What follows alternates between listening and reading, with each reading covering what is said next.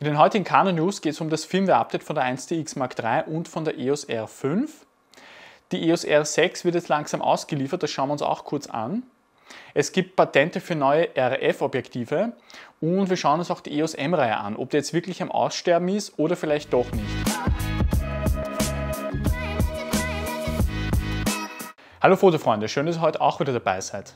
Für alle, die neu im Kanal sind, mein Name ist Markus Florschutz, ich bin kreativer Porträtfotograf mit Ehre und mein Ziel ist es, euch dabei zu helfen, die Qualität eurer Fotos und Videos zu steigern. Es ist wieder eine Woche vergangen, jetzt gibt es wieder einige Canon News und die möchte ich euch nicht vorenthalten. Canon hat jetzt aktuell zwei Firmware-Updates veröffentlicht und zwar für die 1DX Mark III und für die R5. Der Gordon Lang hat sich jetzt das Firmware-Update von der EOS R5 angeschaut unter anderem gibt es da folgende Änderungen. Durch das Firmware-Update wird jetzt die Temperatur der Kamera öfter ausgelesen was eine genauere Temperaturangabe zur Folge haben soll. Allerdings gibt es keine Änderung bei dem Temperaturlimit. Das heißt, die Aufnahmezeit bzw. die Abkühlzeit wird sich nicht wirklich geändert haben dadurch. Gordon Lang hat festgestellt, dass er bei 4K 120 FPS mit der R5 22 30 Sekunden lange Clips aufnehmen kann mit zwischenzeitiger 30 Sekunden langer Abkühlzeit. Durch das Firmware-Update soll sich jetzt diese Anzahl der Clips auf 96 Clips erhöhen. Also 96 Clips, die 30 Sekunden lang dauern,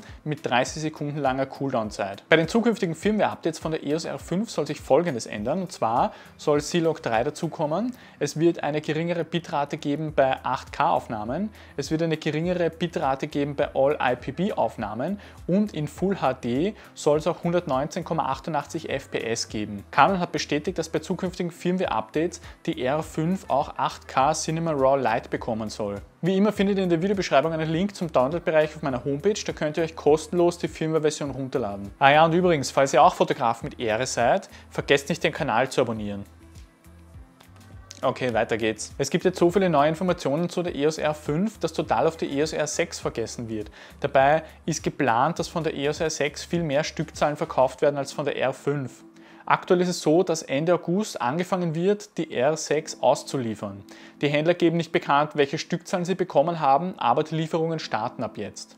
Die neue EOS M wird vermutlich nicht die M50 sein, dafür passt der Preis und die Spezifikationen nicht, also vermutlich wird es eine EOS M7 werden mit 32 Megapixel APS-C Sensor und IBIS, 12 Serienbilder pro Sekunde, 4K bis 60 FPS, und C-Log. Und es schaut so aus, als ob Canon Anfang 2021 die EOS M-Reihe auflassen wird. Das heißt, es wird weder Bodies noch Objektive geben. Das wird dann vermutlich in die EOS R-Serie übergehen, weil da soll ja auch eine höherwertigere APS-C-Kamera kommen. Canon Rumors hat diese Informationen allerdings anonym bekommen und die konnten das auch noch nicht bestätigen lassen. Also wer weiß, wie es zukünftig mit der EOS M-Reihe wirklich weitergeht. Beim RF-Objektiv 600mm Blende 11 spricht Canon davon, dass die Bildqualität besser als die Realität sein soll. Wenn man das jetzt vergleicht mit dem 100 bis 500mm, was sogar noch offenblendig ist, dann schneidet das gar nicht mal so gut ab. Also wenn ihr vorhabt, euch das 600mm mit der Blende 11 zu kaufen, schaut vorher, ob die Bildqualität wirklich dem entspricht, was ihr haben wollt. Canon arbeitet weiterhin an lichtstarken Festbrennweiten für den RF-Anschluss, unter anderem ein 5014, 5018 8514, 8518. Bei Adorama ist jetzt eine limitierte Stückzahl vom neuen RF-Objektiv 100 bis 500 mm Blende 4.5 bis 7.1 LIS verfügbar. Nachdem es bei Canon Imager jetzt Probleme gab mit dem Hackangriff und so, kann ich verstehen, dass manche Fotografen jetzt das Vertrauen ein bisschen verloren haben. Und zwar hat sich Google jetzt dazu entschlossen, da ein bisschen mitzuhelfen. Ausgewählte Canon-Kameras können jetzt ein Auto-Backup in die Google Cloud machen. Damit ihr das Service nutzen könnt, müsst ihr eine Kamera haben, die das unterstützt. Ihr müsst Google One Mitglied sein und ihr müsst das App haben. Für neue Mitglieder gibt es jetzt einen Monat lang 100 GB kostenlos, um das Ganze ins Rollen zu bringen.